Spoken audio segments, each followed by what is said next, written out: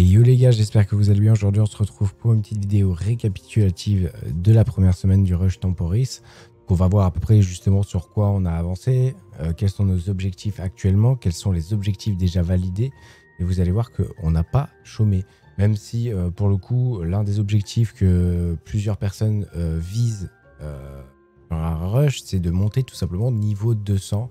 Alors clairement pour nous c'est pas du tout le but. Nous on monte en collectif du coup avec la guilde et il est vrai que euh, ça nous fait énormément euh, plaisir de pouvoir monter tous ensemble et de partager de bons moments euh, sans laisser qui que ce soit derrière nous. Donc là on va voir que justement pour nous tout se passe plutôt très bien. On est actuellement au niveau 115, on a 700 de stats et quelques, je crois 750 de stats. avec la puissance, voilà 765 même. Et euh, du coup, en soi, on se démerde plutôt pas mal. On a plus de 2000 HP. On a 59 euh, dommages fixes.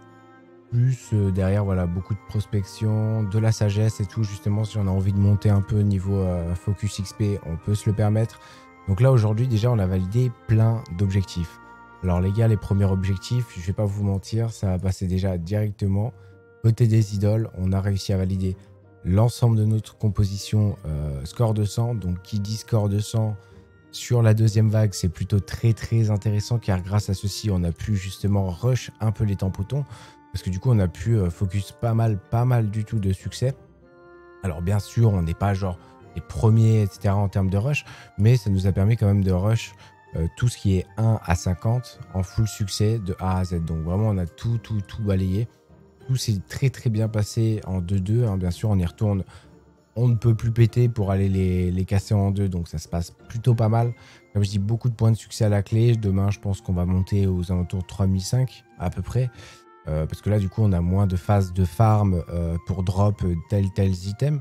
Donc du coup, c'est quand même de, bon, comment dire, de très très beaux objectifs.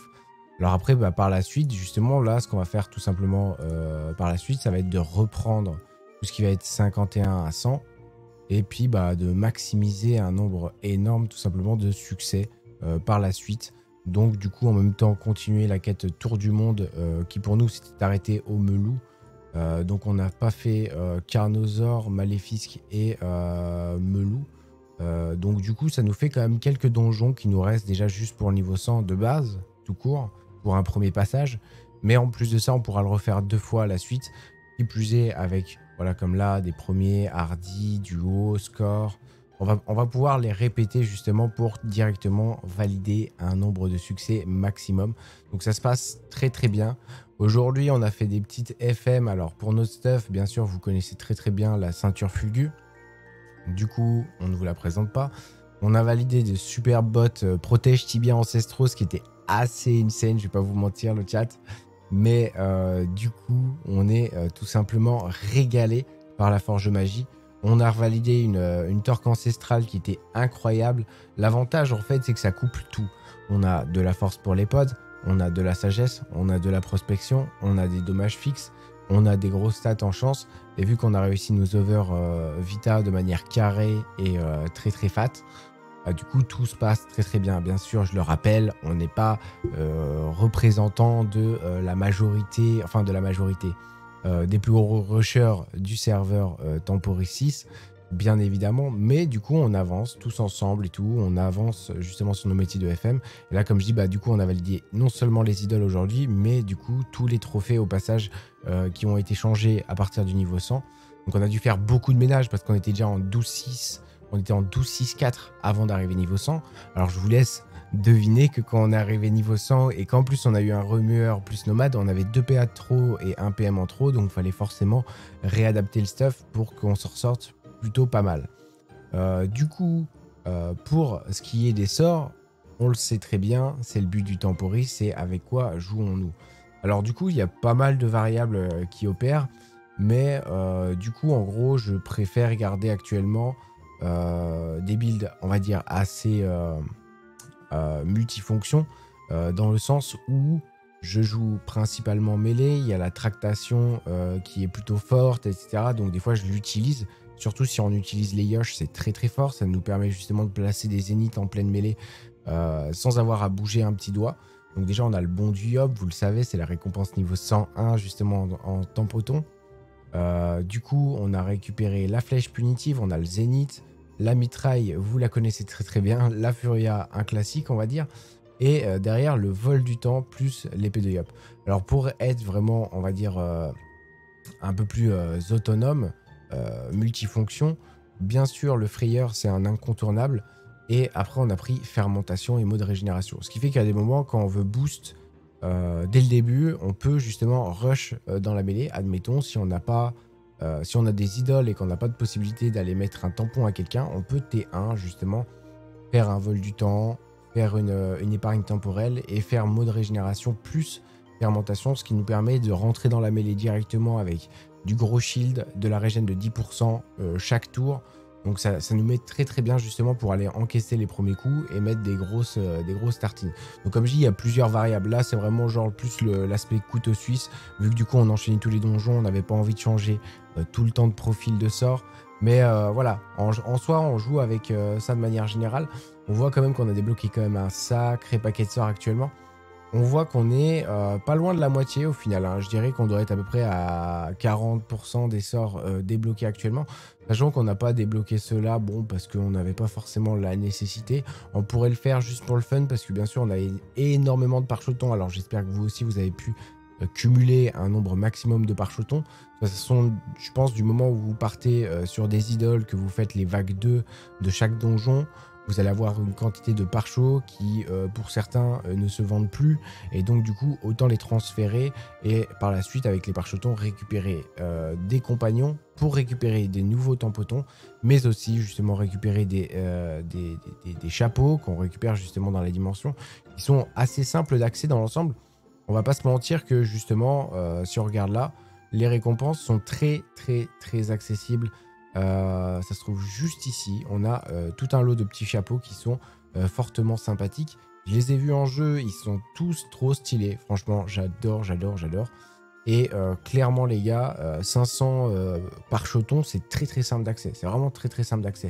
Donc voilà, je vous laisse deviner que là, tous les sorts, c'est pas un problème de les récupérer non plus. On voit qu'il y a des archetons et des recherchetons aussi accumulés par la suite. On va s'en servir pour que bah, justement le collectif grandisse. Euh, à un moment, je pense, une soirée, on va se dire, bon, bah, les gars, euh, en week-end, on va, on va se faire un shot call où on va faire genre juste euh, tous les recherchés du game. Et puis, bah voilà, du coup, tout le monde va avancer dans les doplons, dans les, dans les tampotons. Donc, du coup, ça va être très, très cool, justement, de pouvoir avancer tous ensemble là-dessus. Et bah, dans les petits détails dont je parlais tout à l'heure, c'était justement, on avait un objectif qui arrivait en tête de liste alors tout d'abord, on avait euh, le premier objectif, c'était euh, indirectement lié à la guilde, le fait euh, d'avoir tout simplement une alliance. Donc on a trouvé une alliance. Je crois que d'après ce que j'ai compris, c'est pas moi qui régis le tout. je laisse les autres faire avec grand plaisir. Mais d'après ce que j'ai compris, on va être, je crois, avec Team Tobias, un truc dans le genre. Donc du coup, ça devrait bien se passer. Je pense que tout le monde va être dans le même mood. Le monde va être en mode peaceful. Et je pense que c'est ce qui compte parce qu'en soi, euh, ça n'entachera pas l'aventure, tout le monde sera dans le même délire. Et, euh, ben tant mieux, tant mieux, tant mieux. Et là, je sais pas si vous remarquez, mais il y a un petit ping sur la map.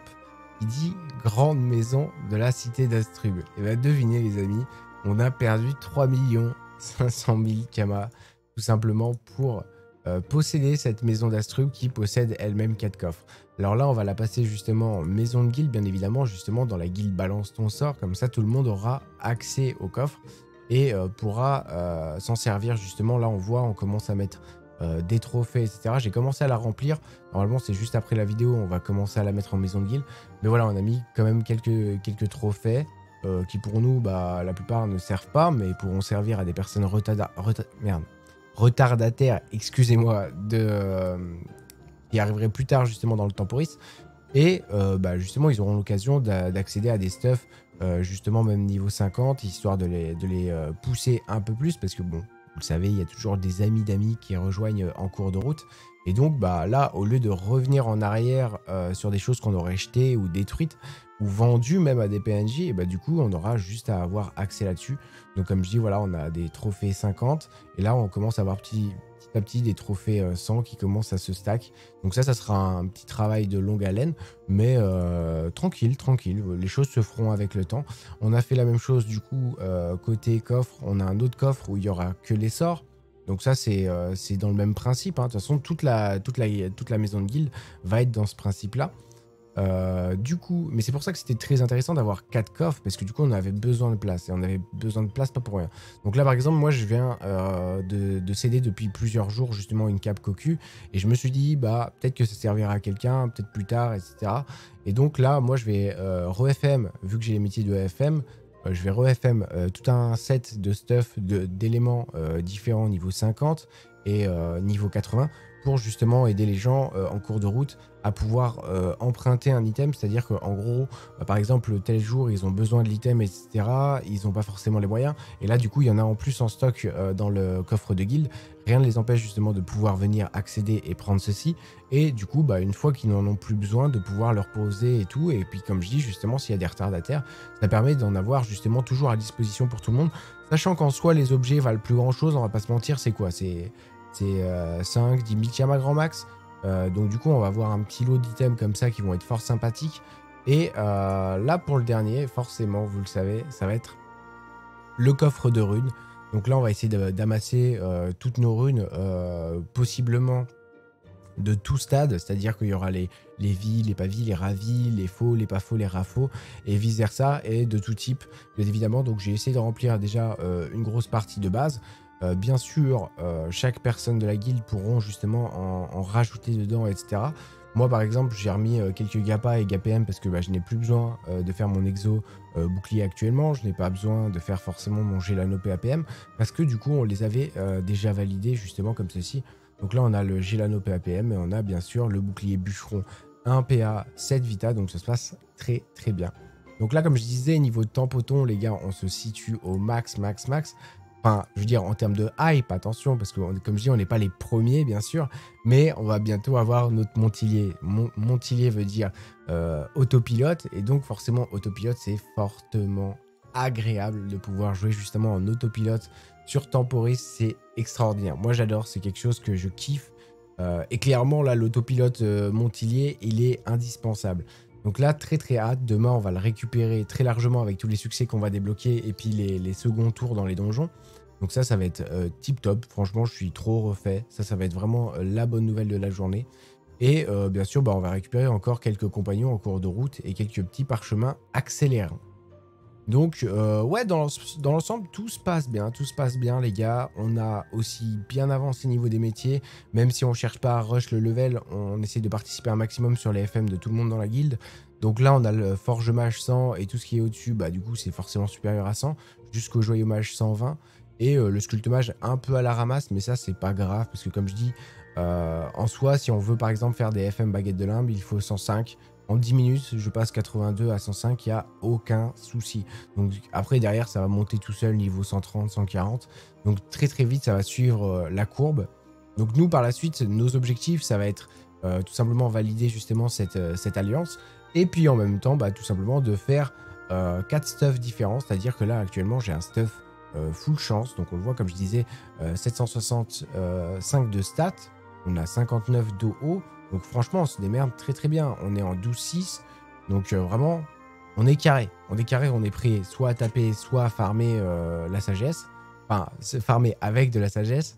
Parce que dans tous les cas, là, j'ai 246 sans même d'offuscawatt, sans même rajouter moi-même de la sagesse.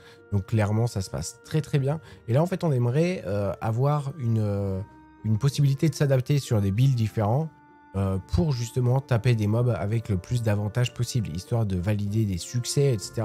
Donc très très intéressant. Mon retour euh, sur les compagnons. Alors les compagnons, les gars, c'est euh, pour moi la chose la plus positive, je dirais. car même solo, s'il y a des moments où vous êtes tout seul, s'il y a des moments où les personnes ne sont pas disponibles, vous pouvez quand même avancer dans votre aventure. Ils ont chacun justement des capacités bien précises.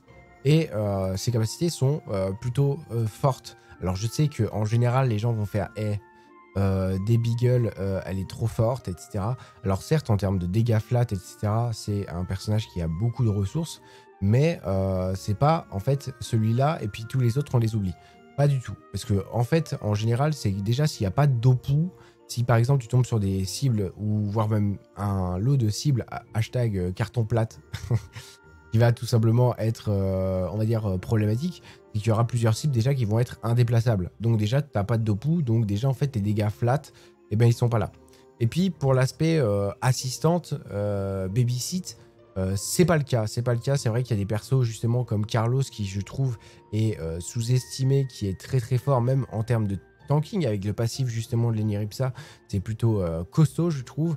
Les pièges qui permettent justement autant d'anticiper les moves et derrière de pouvoir régénérer en, AOE. Il y, a la, il y a le tout ou rien, il y a l'écho de jouvence, la perfusion. Donc là, vraiment, c'est très très intéressant. Et puis, quand tu es embellé, en plus, le flash final est plutôt pas mal parce que du moment où tu as une ligne de vue avec qui que ce soit, à n'importe quelle portée, ils perdent 3 PO pendant 2 tours. Et ça, ça ramène toutes les personnes à ton corps à corps.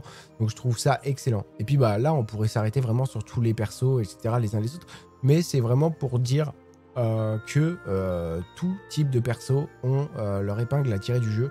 Et franchement, j'ai hâte justement de pouvoir tous les débloquer, pouvoir les essayer dans plein de situations, circonstances différentes. Et clairement, ça va être avec grand plaisir. Euh, du coup, on a vu que les Sadida, ils avaient une technique un peu euh, cheat as fuck en mode full bistouille tackle. Euh, derrière, ils allaient farm comme des gorées et tout en full bistouille. Et leur passif leur mettait des gros starts une deuxième fois justement en full AOE. Alors ça, c'est vrai que c'est la petite technique du Sadida que je ne connaissais pas au début, à laquelle je ne m'attendais pas trop. Mais il est vrai que c'est relativement efficace pour l'avoir vu. Euh, donc euh, c'était très marrant de voir justement que les, first rushers, ça serait euh, des sadis pour le coup. Moi je m'attendais plus à des teams Helio, etc. et tout. Et en fait, les Helio, ils ont, ils dégoupillé le truc justement sur le farming. Il y a quelques mobs dans les, dans qui se farment assez bêtement. dans les abysses aussi. Vous le savez. Et du coup, bah, en gros, les Helio, ils ont permis très très vite 45, level 45, de débloquer justement de l'XP dans ces zones. Et donc là, les gars, c'est Snowball, hein. c'est des runes à foison. Donc là, les gars, ils peuvent tout acheter, tout ce qu'ils veulent, etc. Et donc, du coup, bah, ils ont réussi à snowball euh, leur équipe là-dessus. Donc, c'était euh, très bien joué de leur part. Après, bon, il n'y avait rien de surprenant euh, dans le sens où c'était anticipable à 200%. C'était la même chose sur le Temporis 4. Et la force de l'Helio, pour moi, c'est pas le boost de dommage du portail, mais avant toute chose, le fait de pouvoir se déplacer d'un bout de la map à l'autre en une fraction de seconde et de faire justement euh, bégayer un peu les, euh, IA qui, euh, justement, une fois que tu es de l'autre côté, etc., ça repart dans un sens, puis dans l'autre. Ça fait un peu le yo-yo. Et donc, du coup, même si le combat il dure un petit peu, un petit peu de temps, et ben au final, de une, t'as pas de contest, de deux, t'as des items qui vont te rincer comme jamais en termes de, de coups. Et puis, bah, avec des idoles, ça devient juste n'importe quoi, bien, évidemment. Donc voilà, nous en termes d'objectifs, on continue à avancer, on continue à se faire kiffer. On aide les poteaux bien sûr à avancer eux aussi dans leur, euh, dans récompense Tempoton. Et bien sûr aussi dans leur aventure de Temporis. Donc sur ce les bros, j'espère en tout cas que ça vous aura fait plaisir. Euh, bien sûr, n'hésitez pas à suivre euh, le stream qui sera tout, simplement dans la description en dessous de la vidéo. Vous retrouverez le lien Twitch. Merci encore à tous pour votre soutien et je vous dis à très bientôt pour de nouvelles aventures. Zeratul, oh yeah, you it, man. Oh yeah, you it. Oh yeah. Ciao, peace. Oh yeah.